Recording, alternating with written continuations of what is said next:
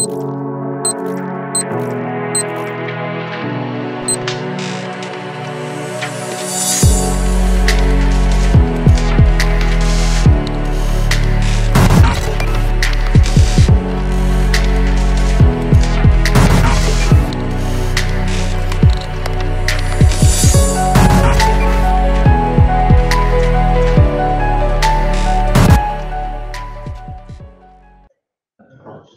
Günaydın.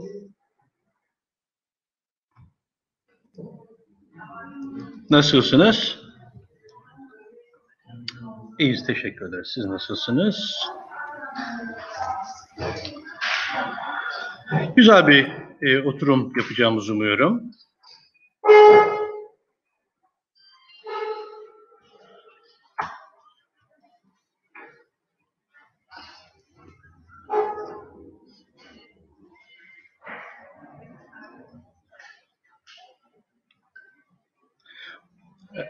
Herkes hazırsa başlayalım.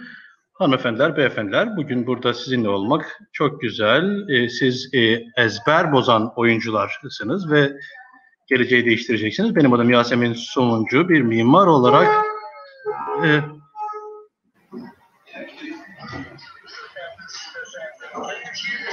beni duyabiliyor musunuz?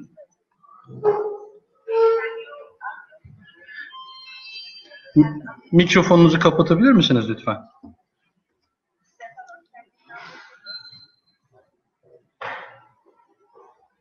Stefano sen de lütfen mikrofonunu kapat. Te teşekkür ederim. Bir mimar olarak e, birçok uzmanla e, enerji verimliliği konusunda çalışma şansım oldu son 10 yıl boyunca ve çok boyutlu bir yol oldu, yolculuk oldu benim için. Bilgi paylaşımı oldu, veri paylaşımı oldu e, ve farklı ülkelerin kültürel zenginliklerini görme şansım oldu. Bugün e, birinci e, 2050 itibariyle e, Avrupa biliyorsunuz karbon nötr adayı oldu ve yüzde 40 ila 55 arasında e, bir indirim hedefliyor karbon emisyonunda. Bu e, hedef e, yüksek bir hedef, iddialı bir hedef ancak yapılması gerekiyor. Değerli konuklar, bu ilk uluslararası oyun oturumda 2020 enerji verimliliği e, yol haritalarını konuşacağız. Kosova Fransız deneyimlerini konuşacağız. Misafirlerimiz e, Sayın Doktor Hişam Lahmidi, Ulusal Meteoroloji ve Test Laboratuvarı Enerji Çevre ve Yanma Daire Başkanı. İkinci konuğumuz Doktor Avni Fişta, enerji verimliliği ve yenilenebilir enerji uzmanı. Kosova Enerji Verimlilik Projesi e, takım lideri. Diğer misafirimiz de Stefanos Palantsas, e, kendisi Helmut Pasif Enerji Verimliliği Enstitüsü. 50 dakikamız olacak. E, sonrasında e, yaklaşık 20 dakikalık bir e, tartışma e, kısmı olacak. Sonrasında da oturumumuz tamam, tamamlanmış olacak. Soruları ekrandaki checkbox'a yazın lütfen. Daha sonra e, e, konuşmacılarla paylaşabilelim.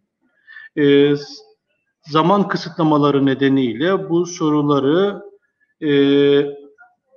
forum web sitesinde olan adreslerinden doğrudan konuşmacılarla da paylaşabilirsiniz. Simultane çeviri olacak. E, çeviriyle takip edebilirsiniz. E, öncelikle tüm e, katılımcılar mikrofonlarını e, pasif hale getirsin ki e, arka plan sesi olmasın efendim. İlk konuşmacımız Doktor Hişam Ahmedi e, enerji e, konusunda çalışıyor ve enerji Fransa'da bu konuda e, düzenlemeleri de bulunmuş. E, aynı şekilde düşük enerji e, üzerine çalışmaları var. Çoklu kriter e, karar verme yazılımı e, ile de ilgilenmiş kendisi. Avrupa'nın e, Enerji Verimliliği e, Mühendisleri Derneği üyesi. Doktor Lahmidi, e, Fransa'nın pozitif enerji binaları ve karbon ulaşması yol haritası nedir ondan bahsedecek. Buyursunlar. Teşekkür ederim. Herkese günaydın. Burada sizinle olmak olmaktan mutluluk duyuyorum ve benim için bir onur e, sizinle Fransa'daki deneyimlerimizi paylaşıyor olmak. E, sıfır enerji e, binalar konusundaki düzenlemelerimizle ilgili deneyimlerimizi paylaşacağım ve e, karbon nötralitesine ulaşmak için yaptığımız yol haritasını e, anlatmaya çalışacağım. Ekranımı paylaşacağım şimdi.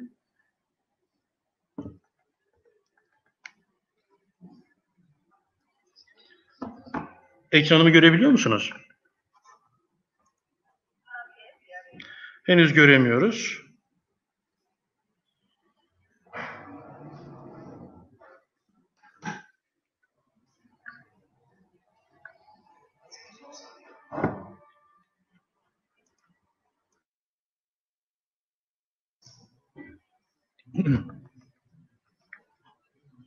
Bir daha deneyeceğim.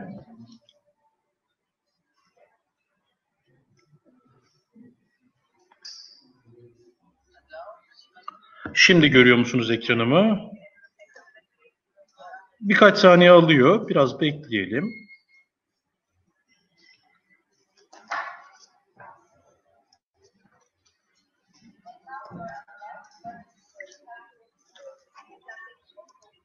Şimdi ekrandasınız, e, canlı yayındasınız ama sunum modunu almanız gerekiyor. Başlayalım o halde. Sıfır enerji binaları ve karbon nötralitesine ulaşmak konusundaki Fransız yol haritasını paylaşacağım sizinle. Ee, Avrupa'da şimdilerde bir bir makale yayınlandı farklı direktifleri içeriyor e, Avrupa kıtasındaki sıfıra yakın enerji binaları konusunda yapılan bir e, makale. Bununla ilgili direktifleri içeriyor. Şimdi Fransa'da biz e, bununla ilgili bir e, çalışmamız var. Şimdi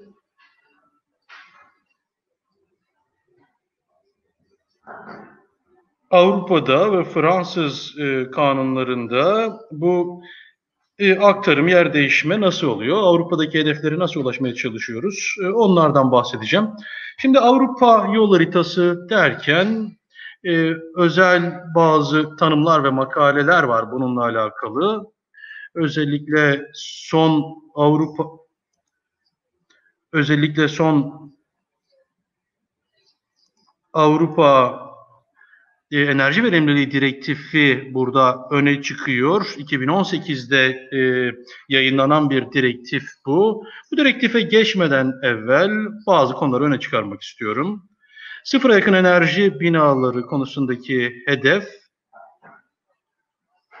son e, 2010'daki e, son Avrupa direktifiyle gerçekleştirildi ve e, enerji performansı yeni binaların e, 2020 sonu itibariyle e, sıfır yakın enerjiye sahip olması, sıfır yakın enerji binalarının olmasını öngörüyor. E, Avrupa'nın hedefleri bu şekilde. Biz de Fransa'da şöyle bir karar verdik. Bu 2018-2020 arasını e, eğer hedefliyorsak 10 yıl önce bununla ilgili kuralları koymamız gerekiyor dedik ve 2010'da başladık ve e, regülasyonları güncelledik. E, bir takım kurallar getirdik, e, yeni düzenlemeler getirdik ve bu bizim için bir öğrenme süreci de oldu 2018-2020'den evvel. Buradaki hedefimiz şu, 2020 itibariyle sıfıra yakın enerji hedefine ulaşmak e, idi buradaki hedefimiz. Felsefemiz de bu. Fransa'da bir e, düşük enerji e, binaları ile ilgili bir e, tanımımız var, e, kurallarımız var. E, yetkili bakanlık bununla ilgili tanımları kullanmaya devam ediyor. 2011 yılında Bu e, yani tanımlamamız hala bu e, eski tanımlamayı kullanıyor. Bu paydaşlar için, e, kamu yönetimi için, mimarlar için, mühendisler için bir öğrenme eğrisiydi. Ve şimdilerde e, düşük enerji binaları, sıfır enerji binaları Fransa'da bir standart haline geldi ve e, şimdi artık bir sonraki adımı düşünüyoruz. Bu düşük karbon inşaat, inşaatı ve biz artık pozitif enerji binaları diyoruz buna. Bu da şu demek, e, tüketimden daha fazla üretim yapmak demek. E, Fransa'daki felsefemiz e, aynı. E, Avrupalı direktiflerin e, analizlerini yapıyoruz.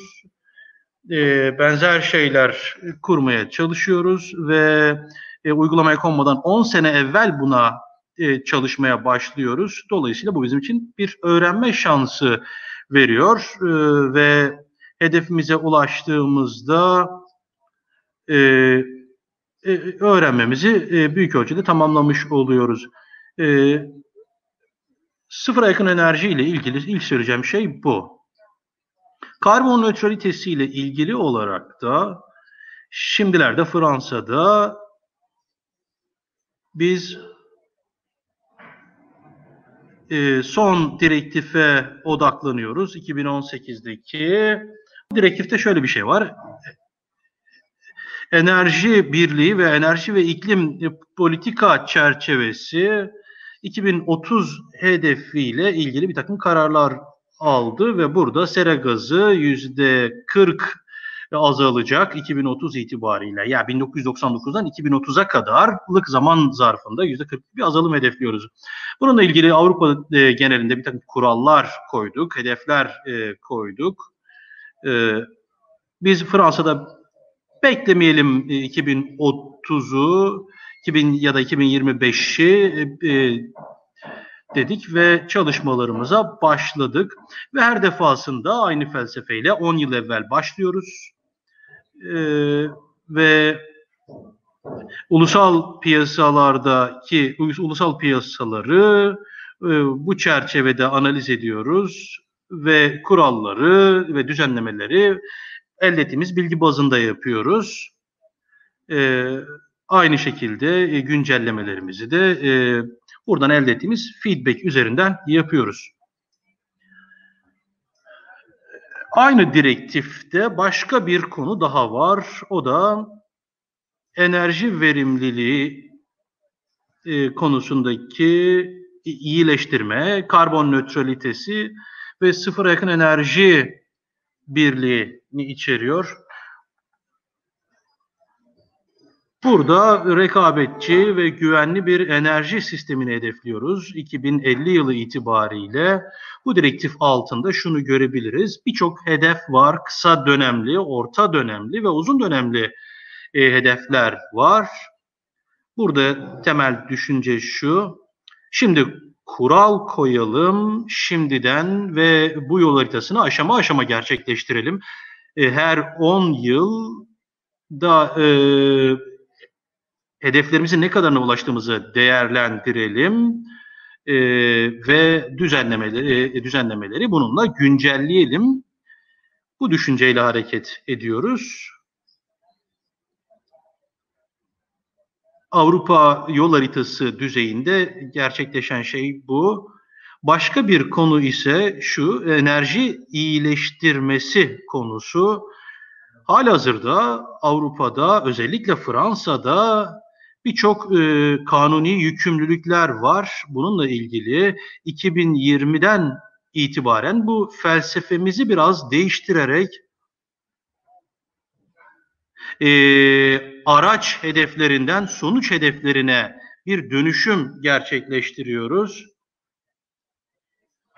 Bu ilk felsefemiz bu yıl biz bunu uygulamaya koyduk. Yine Fransa'da yapılan her düzenlemenin e, e, ceza ile ilgili bir boyutu da var haliyle. Yani bu kurallara uyulması gerekiyor. Uyulmazsa cezası var. 2020 yılı itibariyle e, yönetim e, kurallar kural ihlali olduğunda ceza yazmak yerine daha çok e, yani bir utandırma, naming and shaming dediğimiz utandırma e, politikası üzerinden hareket etmeye karar verdi. Yani e, bir takım e, kara listeler e, oluşturulacak ve e, isimler orada olacak ki e, bu şirketler hedeflerimize ulaşma konusunda e, uyum sağlasın. Başka bir konu yine Avrupa yol haritası konusunda çok önemli bir konu da şu. Bir yer değiştirme, bir transpozisyon yapıyoruz Fransız piyasasında. Bu şart olan bir enerji iyileştirmesi. Buradaki bununla ilgili büyük sorun şu, mevcut binaların e, yeni binalardan daha fazla olması durumu söz konusu. Şimdi mevcut binalardan bahsederken e, her defasında güçlüklerle karşılaşıyoruz. Çünkü var olan binaları e, sıfıra yakın enerji binalarına dönüştürmek ya da karbon nötr binalara dönüştürmek çok zor. Fransa'da biz şuna karar verdik. E, yine Avrupa yol haritasına e, bağlı olarak bir takım kurallar e, koyalım dedik. E, geçen yıl enerji verimliliğini mecburi hale getirdik. E, üç aşaması var bunun. Bu üç hedefi var. Birincisi 2030 hedefleri, ikincisi 2040, üçüncüsü de 2050 hedefleri. Yine aynı daha önce söylediğim kurala bağlı olarak bu e, araçlara değil sonuçlara odaklanan bir şey. Yani enerji tüketimini hedeflemek, e, azaltmak burada hedef. Yüzde kırklık bir e, enerji e, tüketimi azalmasından bahsediyorum. 2030 itibariyle 2040 itibariyle yüzde 50 olacak bu. Yine 2050 itibariyle de yüzde 60'lık bir enerji tüketimi azaltımını hedefliyoruz. Şu an üstünde çalıştığımız şeyler bunlar. Fransa'da. Bir başka konu da şu, yeni binalar yapılıyor ve bununla ilgili yeni bir e, düzenleme olacak önümüzdeki yıl. Bu bunun hani merkezinde e, böyle bir çekirdek var düşünce olarak. Bu kısa e, sunumda, kısımda e, Avrupa yol haritasıyla Fransız yol haritasının e, ilişkilerinden bahsettim. Şimdi Fransa'da enerji tüketimi konusunda vaziyet durum ne halde ona bakalım. Bu grafikte nihai enerji tüketimini görüyoruz sektör bazlı olarak. Görüldüğü üzere nihai enerji tüketiminde yaklaşık yüzde 43 yüzde 40 149.3 milyon tonluk bir e, eşdeğerlik var. Bunların yüzde 45'i meskenlerden e, geliyor. Eğer enerji e, tüketimiyle ilgili bir sonuç yaratmak istiyorsak dolayısıyla e, sanayiden daha çok e, meskenlere odaklanmamız gerekiyor. Bu yüzde 45'lik paydan dolayı e, çünkü çok ciddi bir yüzdesi var e, total enerji tüketiminde. E, önce binalar, meskenler, sonra e, sanayi.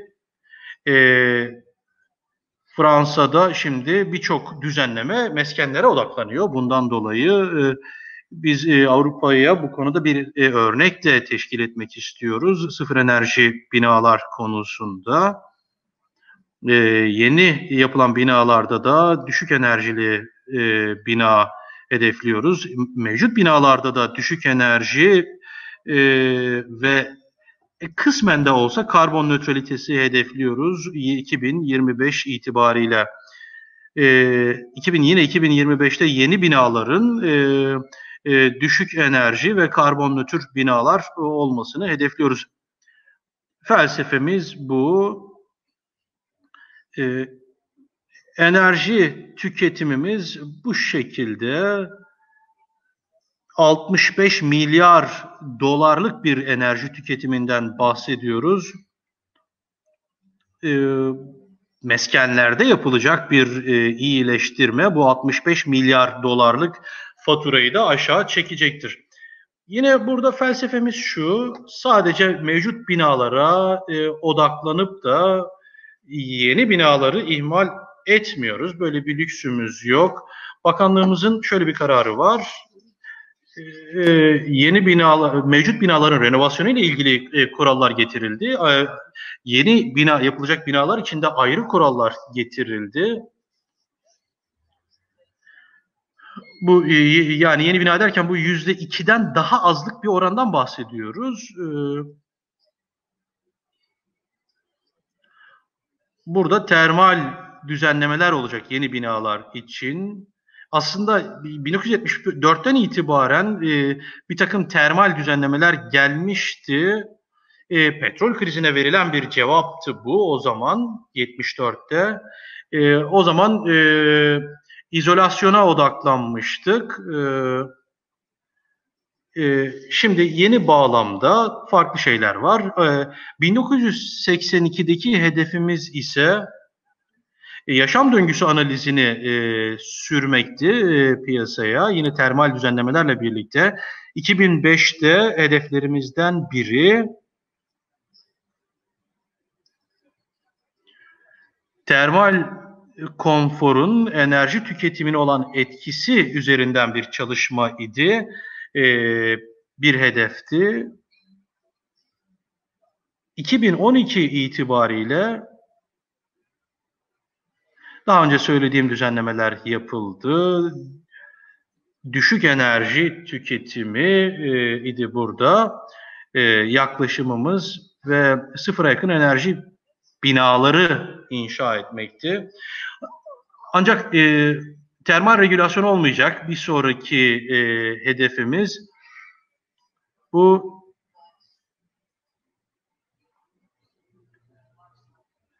yaşam döngüsü analizini e, bütün malzemeleri içerecek şekilde uygulamaya koymak istiyoruz. Aynı şekilde e, sıfır enerji binalarda bir sonraki hedefimizde olacak. Bu hedeflere ulaşmak e, için yani e, düşük enerjiyle düşük karbon e, hedeflerine ulaşmak için e, önümüzdeki sene bir düzenleme e, hayata geçecek ve burada e, daha e, düşük enerji binalar için e, yenilenmeyen e, enerjinin daha az kullanımı e, hedefleniyor. Düşük karbon binaları için de e, binanın yaşam döngüsü boyunca gaz emisyonunu azaltan bir yaklaşım geliştirdik ve buradaki hesaplamalarımız e, her ürünün yaşam döngüsü üzerinden yapılacak. Buradaki ana düşünce e, döngüsel ekonomiyi e, bu düzenlemeler düzeyinde hesaba bir uygulamaya koymak.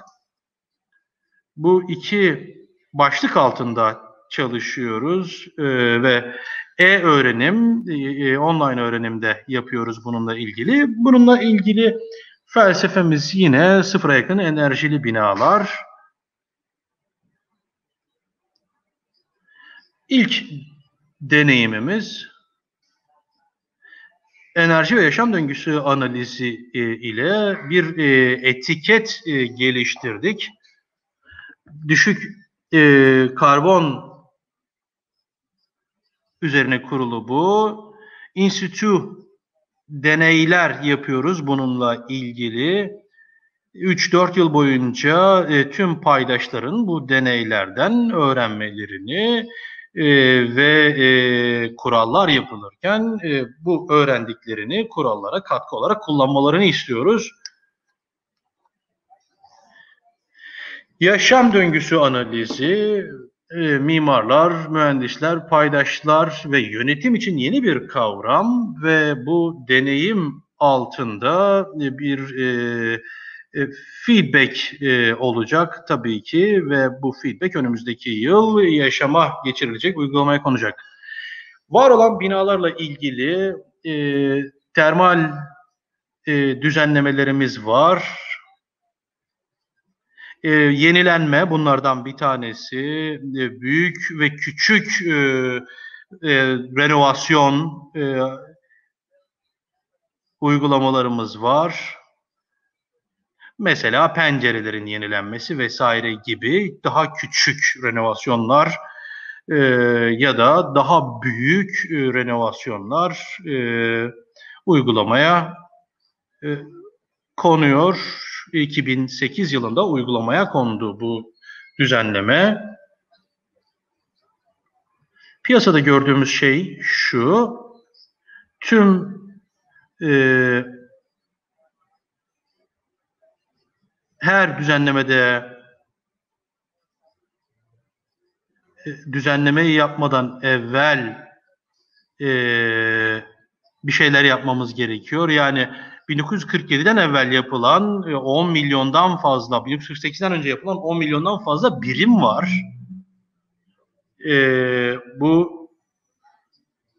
e, yine 48 ile 75 arasında da bu düzenlemeler e, uygulamaya konduktan sonra e, 400 ila 900 kilowatt saatlik bir tüketim e, kullanan 10 milyar 10 milyonluk bir birim var. E, burada hali hazırda e, e, yaklaşık 150 kilowatt saat kullanan 10 milyon, 10 milyon birim daha var. Zaman geçtikçe daha enerji verimli hale geliyor. Fransa'da biz şöyle bir karar verdik. Bununla ilgili hassasiyeti artıracağız. Özellikle büyük şirketlerin enerji verimliliği konusundaki hassasiyetini artıracağız. İlk defa e, kullanılan araçlar üzerinden bir takım e, e, kurallar getirdik. Enerji denetlemeleri devreye sokuldu. Gerçekten kullanılan sistemler enerji verimli mi? Buradaki paydaşlar, her şirketin enerji konusunda hassas olmasını istiyoruz ve kendi analizlerini yaparak enerji verimliliği konusunda iyileştirmeler yapmalarını istiyoruz.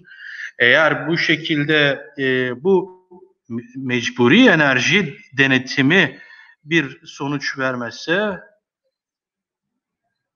bununla ilgili biz tavsiyelerde bulunuyoruz. Bu düşüncenin çıkış noktası yine Avrupa Direktifi. Büyük şirketler e, düzeyinde yapılan e, düzenleme bu. ISO 50001 e, sertifikası olan şirketler bundan istisna tutuldu. Bu Fransa'da e, bazı bu kualifikasyon şirketlerle ilgili bir kualifikasyon, e, sertifikasyon. E, dolayısıyla burada e, Avrupa standartları e, EN 16247'yi kullanıyoruz. E, toparlayalım lütfen e, Sayın, La, Sayın Lahmidi. Pekala. Pekala. Halihazırda şunu fark ettik. Enerji verimliliği konusunda büyük şirketlerde bir e, farkındalık yarattık, bir hassasiyet yarattık. Ancak burada mecburi e, iyileştirmeler e, e, binalar konusunda devreye girdi. Evet bu baştan söylediğim gibi 2030'da yüzde 40, 2040'da yüzde 50, 2050'de yüzde 60'lık bir enerji e, tasarrufu e, hedefliyoruz. E, aynı şekilde gaz emisyonları da bu şekilde azalacak. Bu e, yol haritamızda bunları ifade ettik. Burada e, bitiriyorum. E, zamanımı aştım mı bilmiyorum. E, çok teşekkür ederim. E, çok teşekkürler. E, evet, e, birçok e, çalışma yapılmış. Bununla ilgili bilgilendirmelerinizden dolayı çok teşekkür ederim. Detaylı bir bilgilendirme oldu. İkinci e, konuşmacımız Doktor Avnish Vişta. Kendisi enerji verimliliği ve yenilenebilir enerji uzmanı. Bununla birlikte enerji verimliliği yönergesi yönetiminde enerji performansının ilişkin önemli bir rol var.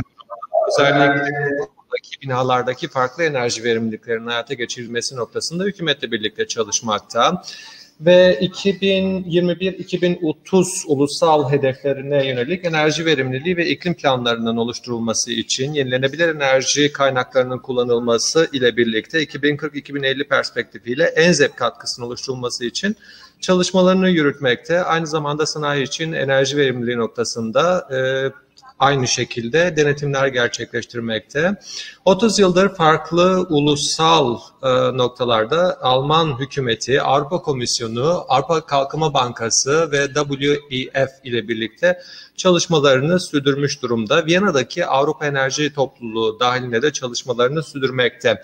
Bugünkü konuşması enerji verimliliği ve yenilenebilir enerji uzmanı olan Sayın Avni'nin bütüncül ulusal enerji ve iklim planları 2021-2030 ulusal hedeflerine ulaşmak için 2040 ve 2050 perspektifiyle ENZEP katkısı yani neredeyse sıfır enerji binaların katkısıyla alakalı olacak. Buyurun Sayın Şvişta.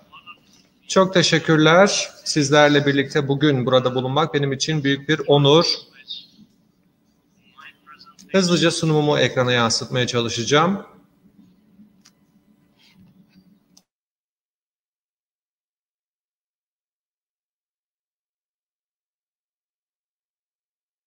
Görebiliyor musunuz acaba?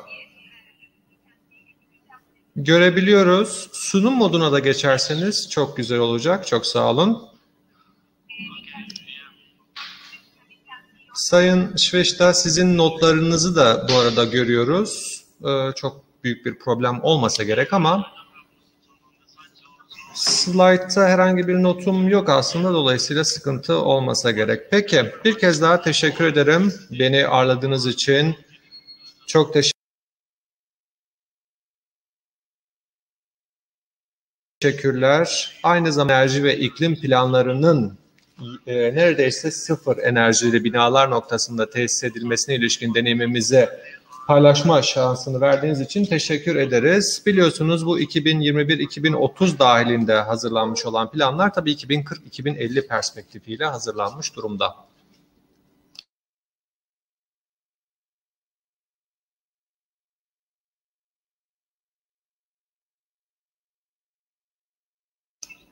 Sanırım Sayın Swishton'ın e, bağlantısı koptu. Bir dakika bekleyeceğiz.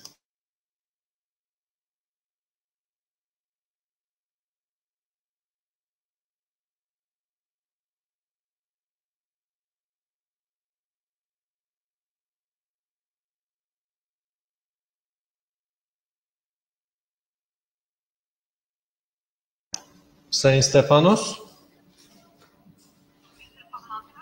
Sayın Palantsas. Sayın Switch'te offline belki isterseniz sizle devam edebiliriz. Hemen siz takdim edeceğim ben. Bir sonraki konuşmacımız e, Stefanos Palansas olacak. Atina'dan, Atina e, Teknik Üniversitesi'nde Özellikle e, büyük projelerin finansmanında uzmanlaşmış bir kişi. 30 yıldır 60'ın üzerinde Yunanistan'daki e, hane halkı projelerine e, katılmış durumda. Bununla birlikte e, çevresel e, bina performansının uygulanması noktasında deneyimi olan bir kişi. Özellikle pasif ev üstüsünden gelmekte. Pasif ev tasarımı, ve bunların sertifikalandırmasında deneyimi var. Bununla birlikte Uluslararası Pasif Evler Enstitüsü Komitesi'nin de bir üyesi. Sayın Palansas, Türk Pasif Ev Enstitüsü SETEV'le de birlikte eğitimlerin verilmesi ve mühendislere sertifikaların sağlanması noktasında çalışmalarını sürdürmekte. Kendisi bugün Sıfır Enerji Bina Yolculuğu Köşe Başında Bekleyen Enerji Verimliliği adlı sunumunu yapacaklar. Sayın e, Sviştov'u üçüncü konuşmacı olarak e, değerlendiriyor olacağız.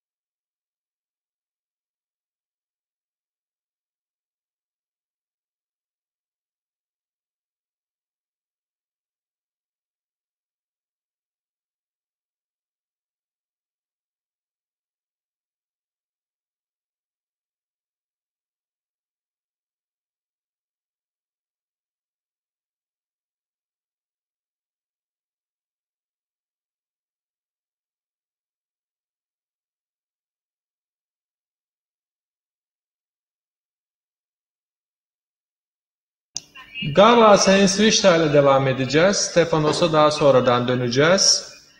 Sayın Stefanos Palansas'ın e, konuşmasına daha sonradan dönüyor olacağız. Herkes için sakıncası yoksa.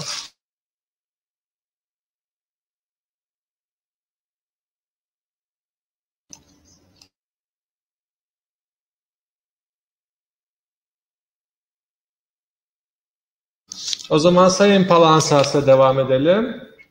Bakalım çalışacak mı mikrofonunuz?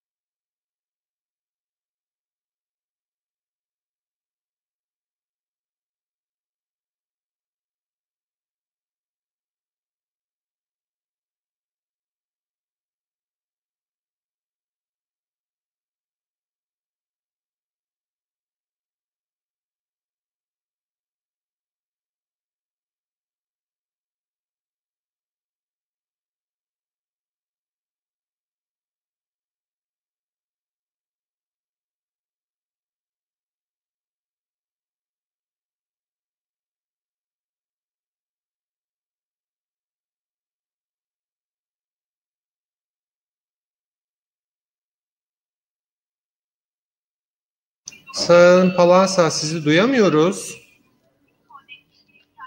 Tekrar bir bağlanabilirseniz o ara biz Sayın Switch'lerle devam edelim.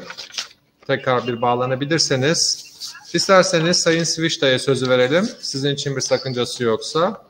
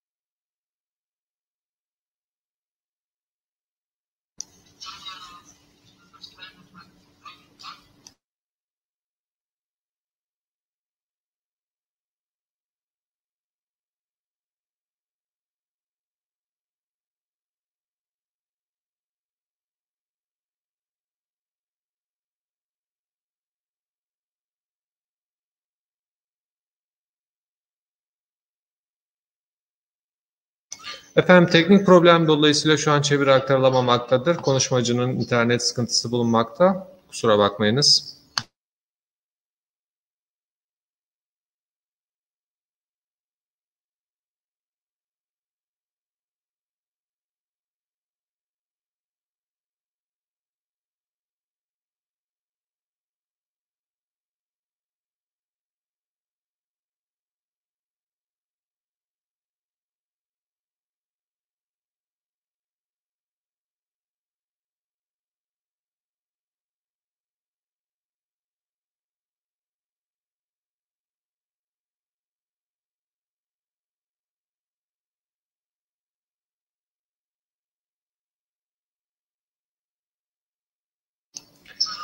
Şu anda konuşmacının bilgisayarındaki internet problemi dolayısıyla konuşma aktarılamamaktadır. Kusura bakmayın. Teknik problemlerden dolayı özür dileriz.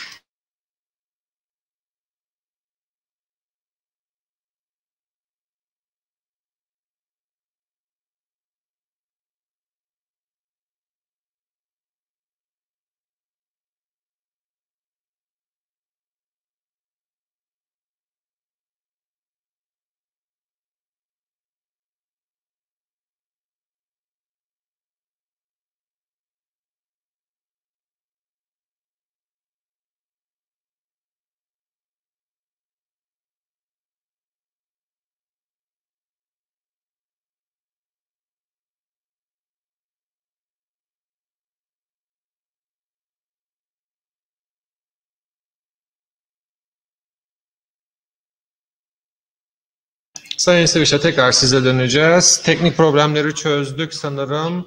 Ee, tabii bizim kontrolümüzün altında da olan şeyler değil tabii ama birkaç gün öncesinde Avrupa'nın hızlı bir şekilde dijitalleşmesi gerektiğini dile getiriyorlardı. Umarız Avrupa'da hızlı bir şekilde dijitalleşir. Böylelikle fikirleriniz de bize daha hızlı bir şekilde ulaşır. Şu anda sunumumu görebiliyor musunuz? Sunumunuz ekrana yansıyana kadar birkaç saniye geçecek. Evet şu an görebiliyoruz. Devam edebilirsiniz. Buyurun. Dile getirdiğim üzere bugün sizlere uzun vadeli ulusal enerji ve iklim planları noktasında e, planlamış olduğu planlamış olduğumuz şeyleri aslında paylaşıyor olacağız. Bu bağlamda uzun vadedeki e, mesuliyetlerimiz nelerdir? 2021-2030 yılları için 2040-2050 perspektifiyle hazırlamış olduğumuz plandaki mesuliyetlerimiz nelerdir? Onlara bakacağız. Biliyorsunuz Balkan ülkelerinin hepsi Avrupa Birliği'nin üyesi değiller fakat Avrupa Enerji Anlaşması'nın birer parçasılar. Bu bağlamda da Avrupa Birliği yönergeleri dahilindeki geçiş sürecine dahiller. Ondan dolayı 2018 yılında enerji topluluğunun üyesi olan tüm üye ülkeler ulusal enerji ve iklim planları geliştirme noktasında taahhütte bulundular. 2018 yılında yine bu planın uygulanması için bir politika kılavuzu oluşturdular. Plana dönüp bakacak olursanız enerji ve iklim ulusal planlarının entegre bir şekilde 2030 hedeflerinin belirlenmesi, bu bağlamda da ulusal mevzuattaki eksikliklerin giderilmesi ve e, karbonsuzlaştırma projesinin hayata geçirilmesi e, dile getirilmekteydi. Bu bağlamda e, ulusal enerji ve iklim planları farklı sektörlerdeki karbonsuzlaştırma ve ekonominin tamamen karbondan arındırılmasını öngörmekteydi ve yine Paris Anlaşması'na uygun bir şekilde hayata geçirilecekti.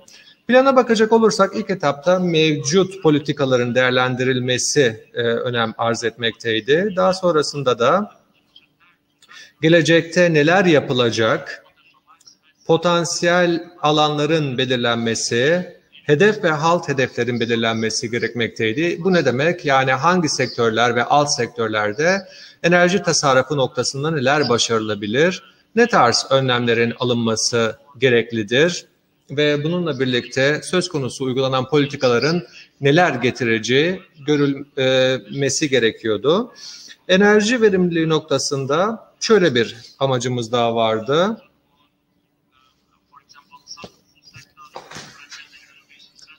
Özellikle e, renovasyon stratejilerimiz neler olacaktı? Böylelikle neredeyse sıfır enerjili e, binalarda neler başarabiliriz e, onu görmeye çalışıyorduk. Bu şekilde hem politikaları belirlerken söz konusu politikaların nasıl etki yaratacağını uzun vadede görmeye çalışmaktaydık. Tabii bununla birlikte e, sera gazı salınımları noktasına neler yapılabilir ve makroekonomik çerçevede ve çevresel etki ve sosyal etki dahilinde bu politikaların birbiriyle olan etkileşimi ne olacak onu görmeye çalışıyorduk. Slide'daki grafiğe bakacak olursanız bu grafik sizlere farklı hedefleri göstermekte, farklı önlemler ve farklı politika araçlarının ve kararlarının nasıl bir etki yaratacağını özetlemekte. Grafiğe dönüp bakacak olursanız mesela hiçbir şey yapmayan ülkelerin enerji tüketimlerinin ne olacağını görmektesiniz ve farklı önlemler alındığı zaman ise enerji tasarrufu noktasında ve toplam enerji tüketimi noktasında nelerin olacağını bu grafik bizlere göstermekte ve yine primer enerji tüketimi noktasında nelerin olacağı yine bu grafikten net bir şekilde görülebilmekte. Günümüze dönüp bakacak olursak önceki konuşmacının da dile getirdiklerinden hareketle şunu söylemek isterim. Bir enerji e, yönergemiz var.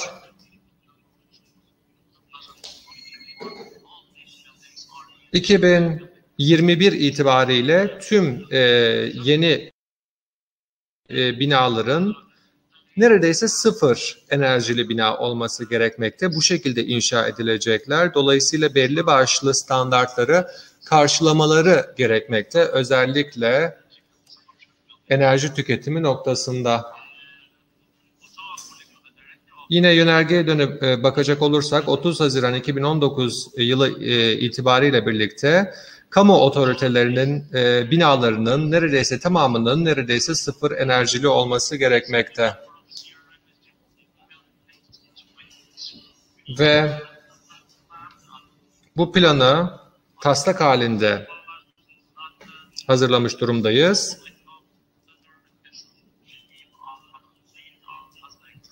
Tabii ki yetkili mercilerin bu bağlamda örnek teşkil etmesi, örnek teşkil etmesi çok önemliydi. Şöyle bir şey yaptık hükümet olarak. Enerji performansının ölçülebilmesi için bir metodoloji geliştirdik ve yine bu yönergeliğe uygun yönerge olarak geliştirildi minimum enerji performans gereksinimlerini karşılaması gerekmekteydi.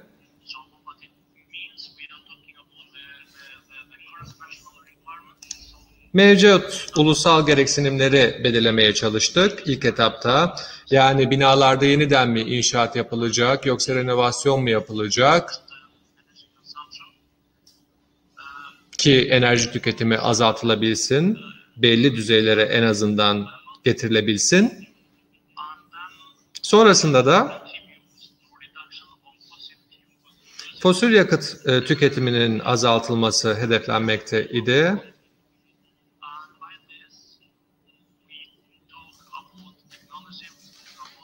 Teknoloji, iş gücünü hesaba katmaya çalıştık.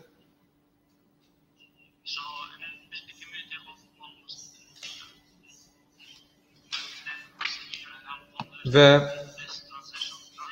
bu geçiş sürecini belirlemeye çalıştık. Çünkü neredeyse sıfır enerji binalar dediğimiz zaman tüm piyasanın karbonsuzlaştırılması söz konusuydu ve karbon ayak izini azaltmaya çalışmakta idik. Yine bir sonraki slaytımda da bunu görüyor olacaksınız. Dolayısıyla sahada bazı yenilenebilir enerji kaynaklarının kullanılması önem arz etmekteydi ve enerji verimliliğini de bu bağlamda ilk politika çıktısı olarak ele almaktaydık. Merkezi düzeyde, yerel düzeyde neler yaptık diye dönüp bakacak olursak, Neredeyse sıfır enerjili binalar için bir ulusal plan oluşturuldu. Binaların önemli bir kısmı kamu binalarının hem yerel düzeyde hem merkezi düzeyde denetimleri yapıldı. İnşaat yılı da göz önünde bulundurularak enerji tasarrufları noktasında en büyük potansiyel nerede o görülmeye çalışıldı. Ve aynı şekilde söz konusu binaların tesis edilen gereksinimlere uygun hale getirilmesi için neler yapılabileceği gözden geçirildi. Bir tane örnek sizlere göstereyim burada. Yani bir e, roket bilimi değil, çok zorlu bir süreç değil. Bir tane bina bu konsepte uygun olarak mesela inşa edildi. Mimar ve mühendisler farklı opsiyonlar sundular bize enerji tasarrufu noktasında. Ne demek? Bu e, binaların e, binaların inşaatında kullanılan bileşenler ve yine teknik sistemlerin tasarımları optimize edildi ve bunu yaparken de tabii ki kullanıcının ihtiyaçları, yine binanın yeri, oradaki iklim koşulları vesaire aynı şekilde yenilebilir enerji kullanılabilir mi, kullanılamaz mı bunlar göz önünde bulunduruldu.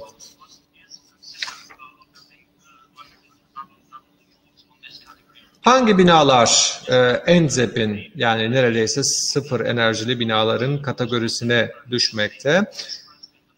Söz konusu e, referans binalarla mukayese edildiği zaman enerji tüketim oranının bu referans binalara göre yüzde 50'den daha az olması gerekmekte. Yani en kötü kabul edilebilir enerji standartları da göz önünde bulundurularak bu şekilde binaların inşa edilmesi gerekmekte.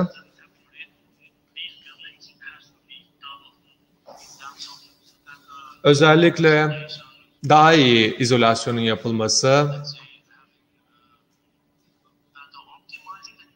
daha optimize teknolojilerin kullanılması ve yenilenebilir enerji uygulamalarının hayata geçirilmesi önemliydi. Tabi sahada yenilenebilir enerjinin üretilerek tüketime sunulması ve bunun da %25 civarında gerçekleşmesi önemliydi. Enerji performansı sertifikası içinde e, bazı adımlar atıldı ve bunun 20 %25'ten daha fazla olmaması gerekiyor. Yani metrekare başına e, kilowatt tüketim miktarları belirlendi. Tabii ki e, denetim yapmış olduğumuz binaları da referans binalarla mukayese ettiğimizi dile getirmem gerekir. Bir yazılım ile bu hesaplamalar yapıldı ve paralel bir süreç olarak aynı bina için referans bina ile mukayese ettiğimizde minimum enerji performans gereksinimleri belirlenmeye çalışıldı. Böylelikle de daha öncelikli olarak laboratuvarda söz konusu performans kriterleri belirlenmiş oldu ama sahaya gittiğimiz zaman e, sahada gerçek veriler üzerinden yazılım kullanılarak ölçümler yapıldı. Böylelikle de denetim yapmış olduğumuz binadaki enerji performansı ile referans bina verileri e, kıyaslanmış oldu ve aradaki farkın %25'ten daha fazla olmaması gerektiği dile getirildi. Tasdik meselesi tabii ki ulusal yetkili kurumun metodolojisi göz önünde bulundurularak yapılmak durumundaydı. Ve yapılan enerji performans değerlendirmelerinin ulusal merciğin belirlemiş olduğu metodoloji dahilinde yapılması gerekmekte idi. 1 Ocak 2021 yılı itibarıyla inşa edilen ve inşaat izni alan tüm binaların minimum enerji e, gereksinimlerine uygun olması gerekli olduğu gibi aynı zamanda enerji performans sertifikasını da tasarım aşamasından itibaren alması gerekmekte idi. Dolayısıyla daha tasarım aşamasında bu sertifikalar verilirken, e, bina inşa edilirken, inşaat aşamasında da teknik olarak kabul görmesi ve kullanım sertifikasını alması gerekmekteydi. Dolayısıyla enerji performans sertifikası için de binanın söz konusu yönetmeliklere uygunluğu kontrol edilmekteydi. Bu değerlendirmeleri nasıl yapıyoruz diye soracak olursanız diyelim ki binada bir renovasyon yapılacak veya yeni bir bina inşa edilecek. Farklı zonlara binayı ayırıyorsunuz ve her bir zon için e, binada bir değerlendirme yapıyorsunuz. Nasıl bir ısı ve veya havalandırma sistemi kullanılacak? Onu belirliyorsunuz. Belli e, denetim yapmış olduğunuz alanlarda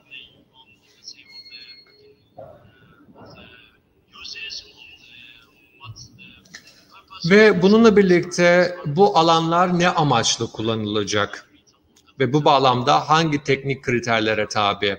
Yani doğal e, ışıklandırma mı olacak, ışıklandırma nasıl olacak vesaire vesaire. Tüm bunları göz önünde geçirdikten, e, göz önünde bulundurduktan sonra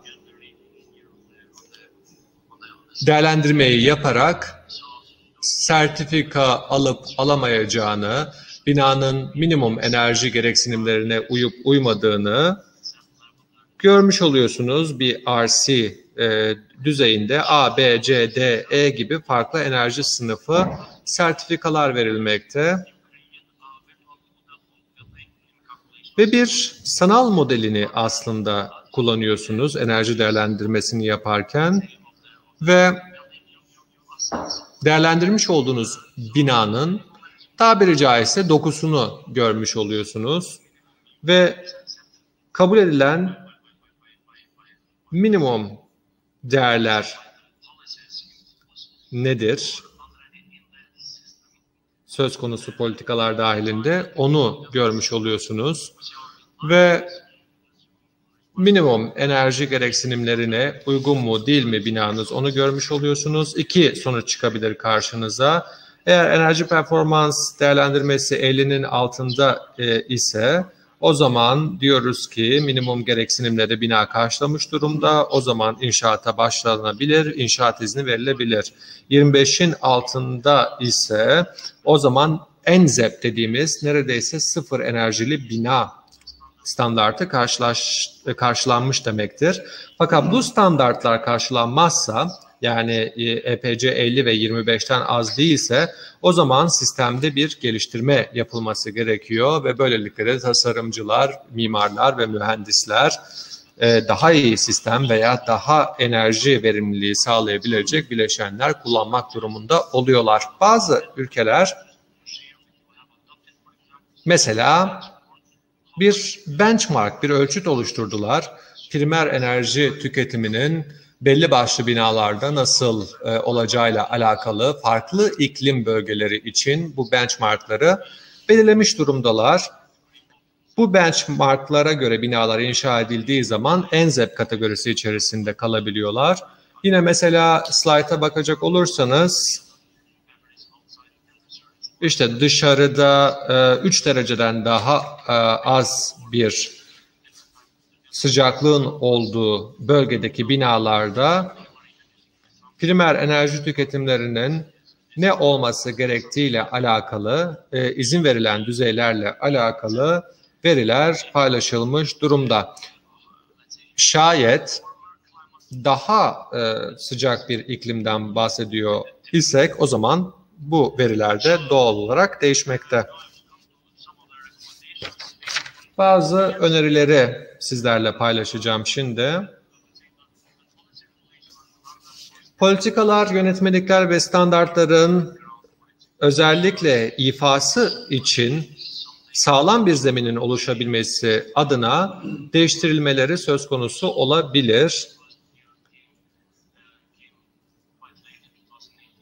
Bu bağlamda tabii ki e, bahsetmiş olduğumuz politikaların yaratmış olduğu mesuliyetler oldukça yeni. 2018-2019'un e, tabii sonunda ortaya çıktı. Ta Yugoslavya döneminden kalan e, binalarla uğraştığımızı da unutmamamız lazım.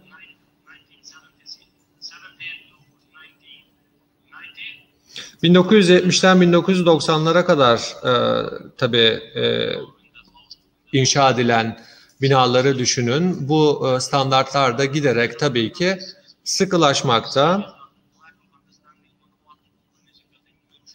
Özellikle e, düşük enerjili binanın ne olduğunun iyi bir şekilde anlaşılamaması e, inşa sürecinde bazı problemleri beraberinde getirebilmekte ve binanın yaşam döngüsünü iyi bir şekilde öngörememekte mühendisler. Bina yaşam döngüsü içerisinde ne, ne kadar bir enerji tüketecekler onu iyi bir şekilde hesaplayamamakta. İşin sadece ekonomik boyutuna dönüp kısa vadede bakmaktalar.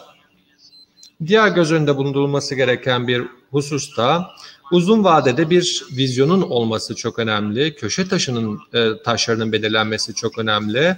Yani nihayetinde bizler bina renovasyon stratejisini uygularken bunu hangi yılı baz alarak uygulayacağız? Bu hala tartışmış olduğumuz konulardan bir tanesi. Yani 2030 mu olacak bu, 2040 mı olacak, 2050 mi olacak? Ancak bu şekilde e, söz konusu müdahalelerin boyutu ve yoğunluğu belirlenmiş olabilir. Bir de bina renovasyon stratejisi noktasında bunu e, ulusal enerji stratejisiyle nasıl uyumlaştıracağız? Bu bağlamda Kosova Enerji Stratejisi'nin 2017-2026 yıllarını kapsadığını düşünelim ama 2030'a kadar mesela revize olacak ama sonrasında ne olacak? Onu da belirlemek çok önemli. Özellikle kalitatif verilerin önemi çok yüksek. Çünkü bu veriler size geleceğe yönelik faydalı çıktılar ve öngörülerde bulunmanızı sağlayacaktır. Veri tutarlılığının ve güvenliliğinin e, bu bağlamda e, oldukça önemli olduğunu dile getirmem gerekir. Bir önceki slaytımda da dile getirdiğim üzere özellikle sıfır enerji, neredeyse sıfır enerjili binaların renovasyonundaki düşük know-how bizler için e, ciddi bir darboğaz. Çünkü bu tarz binalar çok karmaşık, kompleks binalar olarak algılanıyor. E, hatta korkuyor e, bazı yatırımcılar, tasarımcılar bu tarz bir bina inşa edilebilir mi, edilemez mi diye düşündükleri noktada. Fakat yıl içerisinde bu ön yargının aşılacağını düşünmekteyim. Bununla birlikte söz konusu renovasyonların maliyeti ve bu yeniliklerin ifası bir e, fiyat noktasında makuliyet sorutunu da ortaya çıkartabilmekte. Kosova'daki enerji Avrupa'da belki de en e, ucuz e, enerjilerden bir tanesi ama e, yapı malzemeleri maliyeti o kadar da farklı değil. Ondan dolayı ekonomik hesaplamalar tabii ki bu yatırımlar noktasında yapılmak durumunda. Bu da ciddi soru işaretlerini kafalarda oluşturuyor. Acaba bu tarz inovasyonlara gitmek, enerji verimli binalar inşa etmek acaba e, maliyet etkin mi? Böyle yatırımlara gidelim mi gitmeyelim mi diye insanlar düşünüyorlar haliyle. Tabii evlerini renove etmek isteyen çok e, insan var ama ne yapacaklarını bilemeyebiliyorlar, nasıl yapacaklarını bilemeyebiliyorlar. Bazen inşaat şirketlerine güveniyorlar, bazen mühendislere güveniyorlar, e, mimarlara e, güveniyorlar.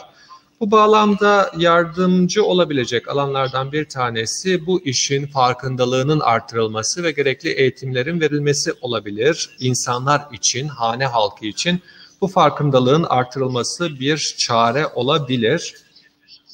Enerji verimliliği noktasında ya, alınabilecek önlemlerden bir tanesinin enerji tüketiminin azaltılması olduğunu dile getirmiştik. Çünkü geri döngüsü çok kısa zamanda olacak ve bununla birlikte yatırımın e, yatırımların e, sonucu çok e, hızlı bir şekilde görülecek. Ama bunu uygulama noktasında, e, ENZEP'in uygulanması noktasında yetersiz mi kalıyoruz diye dönüp bakıyoruz. Çünkü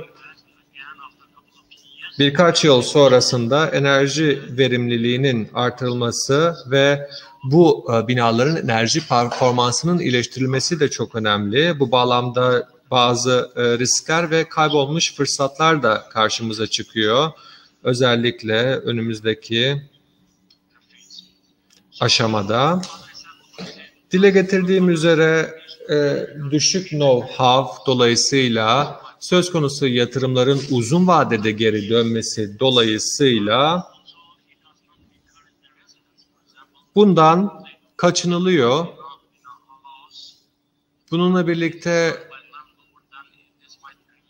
kiracı o, olunan durumlarda mesela bu tarz renovasyonların yapılmasıyla ev kirasının artacağı dolayısıyla hane halkı buna da yaklaşmak istemeyebiliyor. Bu projelere gönüllü olmayabiliyorlar ve elimizde bulunan finansal araçlarda e, yok. Yani e, Kosova'da enerji verimliliği ile alakalı bir fon var.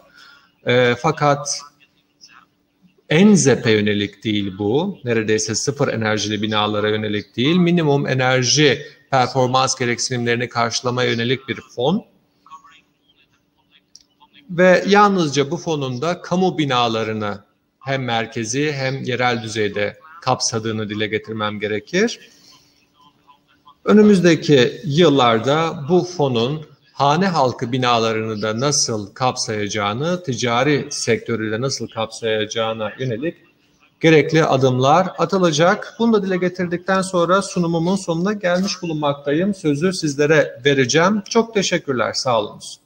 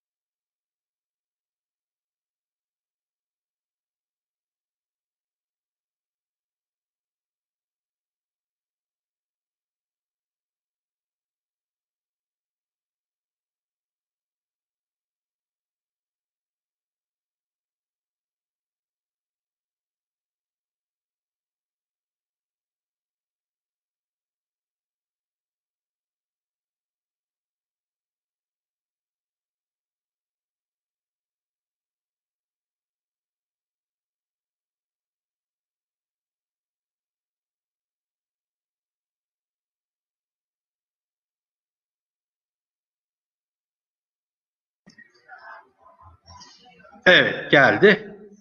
Sunumumuz başlıyoruz. Bir saattir e, yaklaşık birlikteyiz. Teşekkür ederim. Şimdi ikinci defa olarak şunu söylemek istiyorum ki bu konferansta olmaktan dolayı mutluluk duyuyorum. E, bir takım iyi arkadaşlarım, ortaklarım var burada. Umuyorum ki bu konferans Türkiye için de iyi bir e, adım olacaktır. E, daha sonraki adımlar için iklim değişikliği ve binaların yarattığı, iklim değişikliği ile ilgili yarattığı sorunlar bağlamında. Umuyorum ki e, bu adımları siz de destekleyeceksiniz. Burada olmak benim için şu açıdan da bir mutluluk kaynağı. Çünkü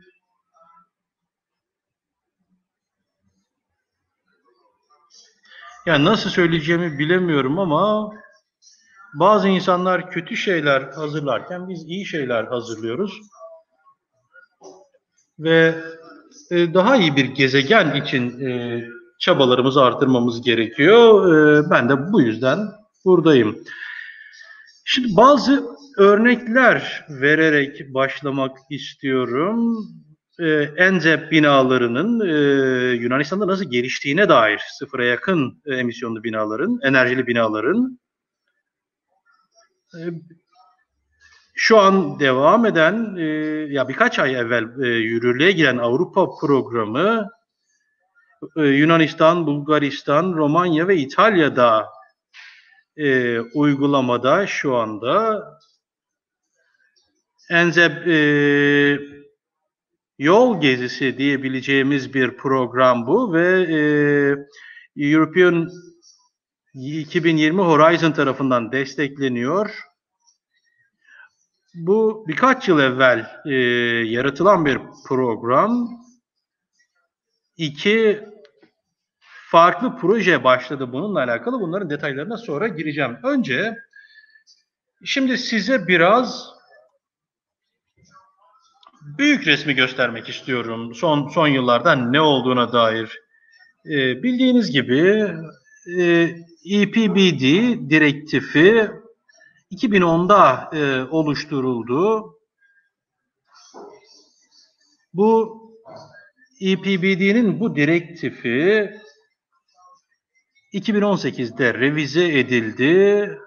E, buna 844 diyoruz. E, bu direktifin ana konusu Avrupa Birliği'nin Enzep binalar konusunda hazırlıklı olmasıyla alakalıydı. 2021 e, Haz e, Ocak ayı itibariyle birkaç ay sonra başlayacak bir şeyden bahsediyoruz. E, önce evet 2019'da başladı bu ama özel sektör 2021 Ocak ayında başlayacak bu uygulamaya. E, biz e, finansal krizden dolayı çok fazla bir şey yapamadık bununla ilgili Yunanistan olarak e, ve hep e, öteledik e, bununla ilgili uygulamaları. 2020 geldi, çattı ve şimdi yeni hükümet e, bununla ilgili politika oluşturması gerektiğine karar verdi. Bu direktifle e, hizalanması gerektiğine karar verdi. E, ancak e, bunu buna hazır olmadığımızı fark ettiler ve yani yeterince zamanımız olmadığını yani 10 yılın yeterli olmadığını söyleyerek direktifin uygulamasını yine 6 e, ay ötelemiş oldular. Dolayısıyla 2021 e, Haziran başı itibariyle biz de uygulamaya başlayacağız bu enzep düzenlemeleriyle ilgili. Yaklaşık yani neredeyse eminim yani e, 2021 Haziran başına bu yetişmeyecek. E, çünkü hiçbir şey olmuyor uygulamada hali hazırda. Biz bir takım aşamaların, inisiyatiflerin alınmasını bekliyoruz hükümetten. Bunlardan bazıları belki ilginç şeyler olacak, yani ilginç şeyler olacak ama şu anda e, mühendislerin eğitimiyle ilgili, e, insanların eğitimiyle ilgili e, herhangi bir şey yapılmıyor. Ki e, ancak böyle bir eğitimle ancak e, bunu e, tasarlayıp uygulamaya koyabiliriz. Enzep binalardan bahsediyorum. E, bunu yapmak çok kolay bir şey değil. Bu bina fiziği ile alakalı daha çok e, ve e, bu bina fiziği çok aşinası olduğumuzda bir şey ve mimarlar ve mühendisler de bununla oldukça aşina. Bununla ilgili eğitimler de alıyorlar e, ve yani zaten düzenlemeleri de minimum gereksinim üzerinden yapılıyor ve e, e, bundan dolayı kimse de daha iyi bir bina tasarlamaya çalışmıyor. Bu evet yani daha iyi bina tasarlamamız gerekiyor. Çok daha iyi bina tasarlamamız gerekiyor. Bununla ilgili bir potansiyel de var. Biz de bu proje bağlamında bunu hedefliyoruz zaten. Daha iyi binayı hedefliyoruz. Ulusal ölçekte e, pazarlama ve e, iletişim e, kampanyası yürütmek istiyoruz. E, 3 yahut da 5 şehirde yapılacak bu. E, 4 ülkede. E, e, yine e, inşaat malzemeleri, e, ürünlerini ilgileniyor. E, tasarımcılar ve inşaat e, çalışanları için eğitimler olacak. E, ücretsiz e, danışı, danışma hizmeti verilecek vatandaşlara. Yine emlak piyasasına da verilecek böyle bir hizmet. Burada aşağı yukarı hükümetin e, yapmadığı şeyleri biz yapmaya çalışıyoruz. Yani bu 10 sene boyunca ihmal edilen şeyleri yapmaya çalışıyoruz. Enerjiyle ilgili becerilerin e, talebini e, geliştirmek istiyoruz. Çünkü e, hem enerji hem inşaat bunlar iki büyük sektörler. Bizim e, Yunanistan olarak e, Avrupa önergesinde bulunan 3 ila 5 şehirden e, bunun da sınırlı tutmak istemiyoruz. E, yani Atina burada olmayacak, e, dahil olmayacak ama birçok başka şehir olacak. Çok e, kışları sert geçen şehirleri seçeceğiz ki e, böyle bir enzep binası tasarımı yapıldığında nasıl sonuçlar alıyoruz bunu görebilelim. Bu binalarda e, aynı şekilde yazın neler oluyor e, onu da göreceğiz. Özellikle Akdeniz'e yakın kısımlarda bu da önemli bir konu. Yani Kuzey Avrupa ülkelerinde e, pasif ev tasarımı yapmak ya da enzep binası yapmak e, belki e, onlar için e, bir, hani biraz zor ama onlar e, yazın ne olduğuna çok e, odaklanmıyorlar. Yunanistan'da e, ve Akdeniz ülkelerinde ise asıl sorun oldukça farklı. Yani e, kış için her zaman talep olmaya devam edecek. E, ancak e, e, yaz içinde birçok e, şeyin yapılması gerekiyor. Bu Enzep e,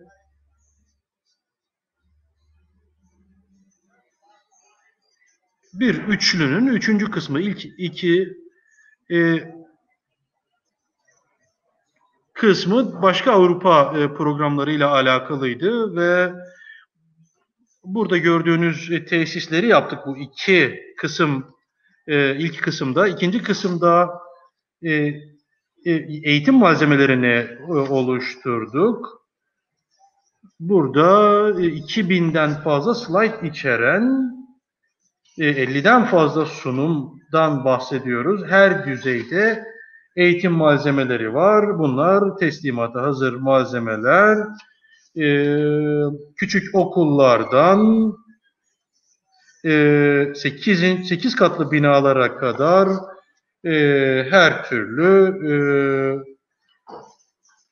desteği sağlıyoruz her durumda diyebilirim. Buradaki akılcı fikir şu, buradaki modelleri e, oluşturmak e, ki e, alanda eğitim sağlıyoruz bunlar üzerinden. Burada e, bina e, bina bilgi hub'ları dediğimiz şeyler bunlar. Bu hub'ların her, her ülkede var. Birçok ülkede var. Yine Enzel bağlamında İzmir Teknik Üniversitesi de sanırım buna e, katıldı. Bu bina bilgi hub'ına katıldı ama kullanıyormuş şu anda. E, bunu bilmiyorum. E, forumun üçüncü kısmı ise bu e, bina bilgi hub'ını ülkenin geri kalanına yaygınlaştırmak. 10 e, şehri daha gideceğiz ve e, e, Atina'da yahut da e, başka bir ülkenin başkentinde yaptığımız şeyleri orada uygulamaya koyacağız. Mesela emlak fuarlarını kullanacağız. Şimdi tabii koronavirüs var. Böyle bir fuar yapılıyor mu bilmiyorum ama e, ne yapacağımızı e, göreceğiz bununla alakalı. Pratik sunumlarımız olacak. Bununla ilgili bütün malzemelere sahibiz. Burada mimarlara, mühendislere, teknisyenlere, öğrencilere, normal herkese, sıradan vatandaşlara bunun nasıl çalıştığını e, anlatacağız. E, Enzep binaların nasıl çalıştığını göstereceğiz. Yine tasarımcılar ve inşaat çalışanları için de e, sunumlar var. Sertifikalı programlarımız var.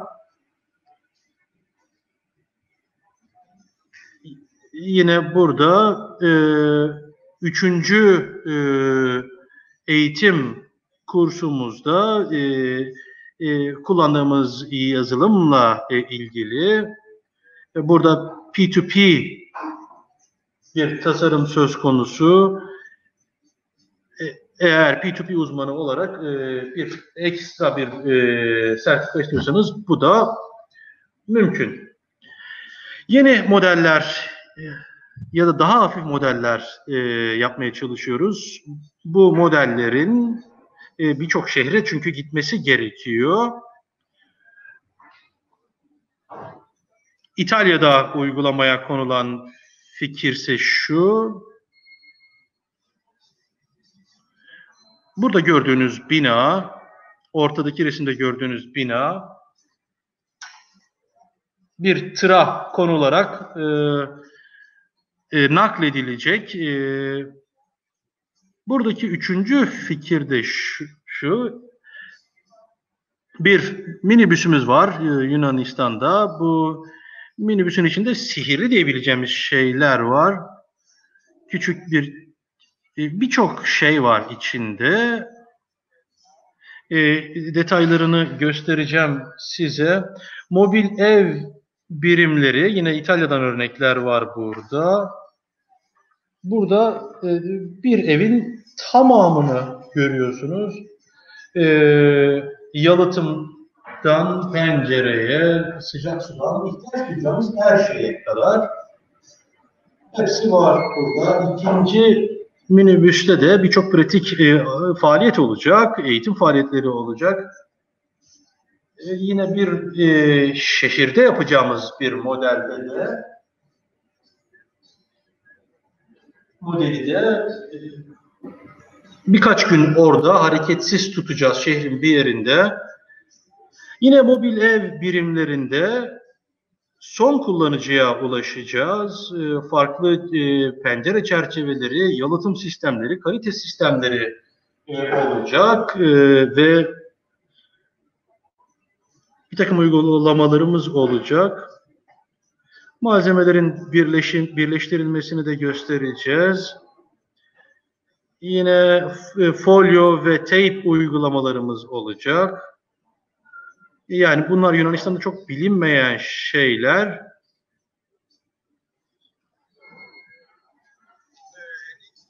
Bu da bir mobil e, ev biriminin iç kısmı. Birçok uygulama var burada da.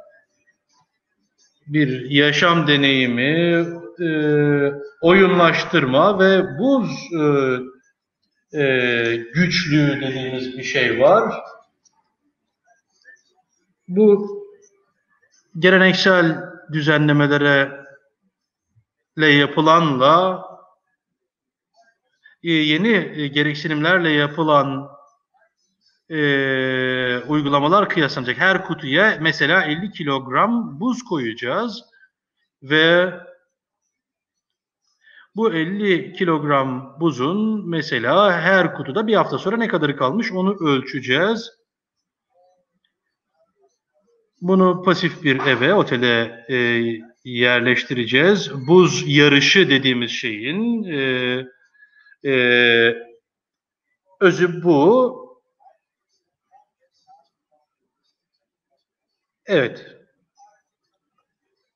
Yine mobil birimlerde yapacağımız e, başka şeyler de var. E, mesela e, hava kalitesi bunlardan bir tanesi. PV gözleme bunlardan bir tanesi. İnfrared termo görüntülemede bir diğer uygulama. Binanın performansını monitörlerle ölçeceğiz. Bir başka düşünce de eğitim tırı. Birçok şirketin e, kendi eğitim tırı var. 2019'da e, yapılan bir tırın içini ve dışını görüyorsunuz. Şirketlerin böyle uygulamaları var. E, eğitim tırında yine bu modeller olacak. Birçok e, malzemeler e, orada e, sergilenecek. E, hava geçirmezlik pratikleri ölçülecek. Pencere yalıtımı, ventilasyon birimleri test edilecek. Yine bir takım tesisler olacak. Söylediğim gibi yani birçok şey taşımak e, zorunda olduğumuz için ağır şeyleri tercih etmiyoruz. E, bu tırlarla pasif evleri e, olan şehirlere giderek e, gideceğiz. Enzep haftası e, çerçevesinde bu evlerde insanlara sadece modeller göstermeyeceğiz. E, Sadece ekipman göstermeyeceğiz. Gerçek bir ev görecekler ve bu evlerde e, son kullanıcıyla tartışma imkanımız olacak ki bence bu çok önemli. Pasif evlerin e, en büyük destekçisi çünkü son kullanıcılar. Son kullanıcı e, başta yani inşaattan evvel konuyu anlamasa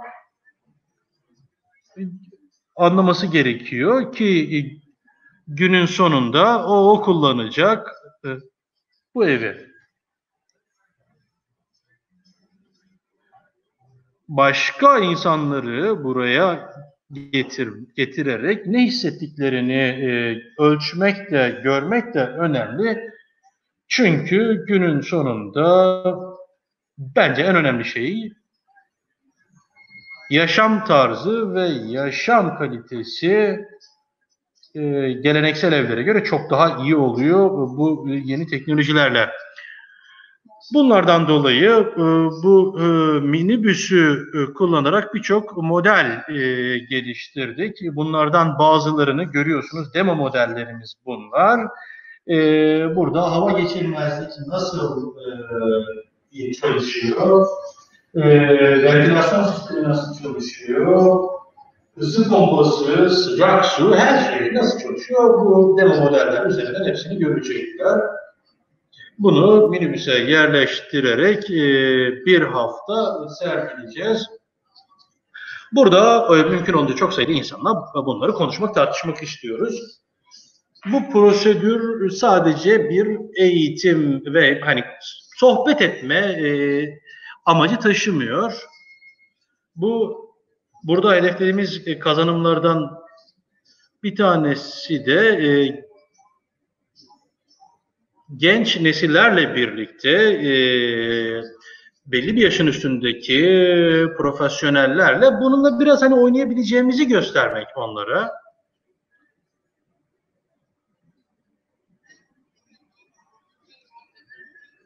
Çok baştan başlayacağız. Ee, öğrendiğimiz ilk şeyleri uygulamaya koyarak başlayacağız.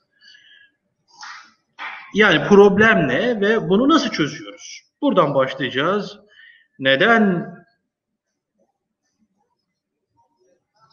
yani e, yani hani nasıl söylersiniz bilmiyorum ama Yasemin Türkçe nasıl söylersiniz bunu? Yani Türk kahvesi için kullandığımız bir ekipman var. Nasıl söylüyorsunuz ona? Cezve diyoruz. Evet. Yani bunu metalden değil de plastikten tutuyoruz değil mi? Bu temel fizik yani. Dolayısıyla evlerimizin de bu şekilde tasarımlanması gerekiyor. E, bu güzel bir örnek. E, zamanımın bittiğini görüyorum. E, bu küçük sunum önümüzdeki birkaç yıl içinde ne yapacağımıza yönelikti. Sorularınız olursa cevaplamak isterim. Bu program birçok e, belediyelerden e, ve şehirlerden destek alıyor. Birçok ülkede e, biz Yunanistan'da da ciddi bir destek alıyoruz. E, bu konuda bir teklif aşamasında bile e, şimdi birçok şehir e, konuyla ilgileniyor. Yine her Avrupa projesinde olduğu gibi 0.8 e, e, gigawattlık bir tasarruf hedefliyoruz. 1180 yani 67 tonluk bir e, karbondioksit azalımı da hedefleniyor. Bu sunumum kısaca bu şekilde.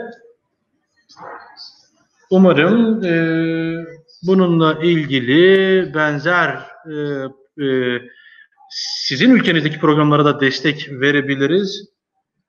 E, eğer destek ya da daha detaylı bilgi isterseniz e, buradayım efendim. Çok teşekkür ediyorum. Bu güzel sunumunuz için çok teşekkürler Sayın Palansas. Görmüş olduğunuz üzere önce yönetmeliklerle işe girdik. Daha sonrasında karar alıcılardan nihai kullanıcılara kadar adım adım her bir paydaşa baktık. Bir buçuk saat harcadık açıkçası ama gerçekten çok yoğun bir şekilde bilgi edindiğimiz bir oturum oldu. Yönetmeliklerle sürece nasıl başlarız, daha sonrasında bunu gerçek hayatta nasıl ifa ve icra ederiz onu görmüş olduk. Sayın Palansas'a bir soru var katılımcılarımızdan bir tanesi şu soruyu sormuşlar. Neden bu yaklaşımı Atina'da hemen uygulamaya geçirmediniz? Tekrar edeyim. Bu projeyi Atina'da hemen niye hayata geçirmediniz? O sorulmakta. Çünkü size dile getirdiğim üzere eğitimler 1-2 yıl aldı. Daha sonrasında hayata geçirilmesi de biraz vakit aldı.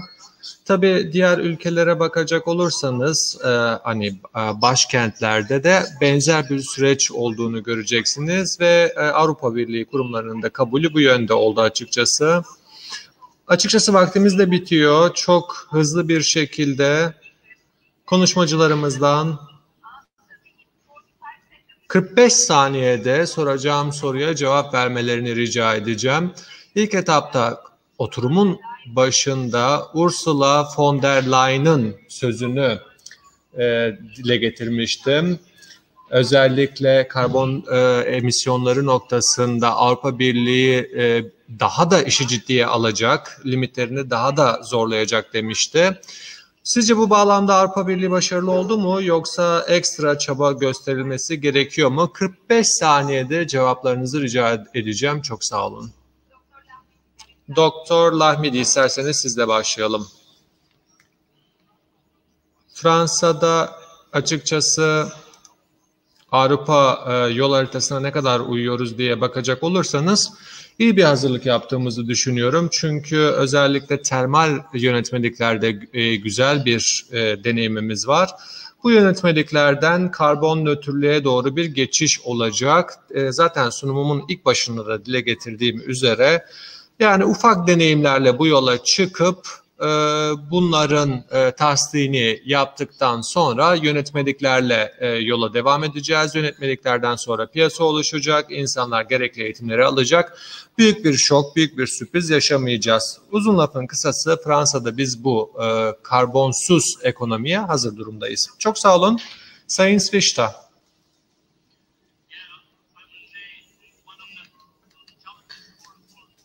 Özellikle teknik e, insanlarımızın, teknisyenlerimizin yaşayacağı dar boğazlardan bir tanesi politikacıları bu konfor alanından dışarı çıkartabilmek. Genellikle bu adımı atmıyorlar biliyorsunuz. Biz birazcık daha konfor alanlarının dışına hızlı çıksınlar istiyoruz. Dolayısıyla bu karar Brüksel'den gelecek ilk etapta. Daha sonrasında da e, alttan yukarıya doğru yani halktan karar mercilerine doğru karar alınması noktasında bir baskı olacak. Bu reformlar daha hızlı bir şekilde hayata geçirilecek diye düşünüyorum. En azından yakın gelecekte böyle olacak kanaatindeyim. Şahsi kanaatimle de şunu söyleyebilirim. E, zaten çok ciddi bir potansiyel var. Enerji tasarrufu ve karbonsuz ekonomiye geçişte daha güzel şeyler başarabiliriz. Sağ olun. Sayın Palansas sizin de yorumunuzu almak isterim. Yani meslektaşlarımın e, hazır olduklarını dile getirdikten, onu duyduktan sonra ben şaşırdım. Biz Yunanistan olarak açıkçası hazır değiliz. Avrupa ülkelerinin önemli bir kısmı da bence hazır değil. Sayın Sviştan'ın dile getirdiği üzere ciddi bir potansiyel var. Ama yüzlerce yıldır zaten bu dile getiriliyor. Potansiyel var, var, var şeklinde ama ben hazır olduğumuzu düşünmüyorum. Ve e, ne olup bittiğinde de çok bence farkında değiliz şu anda.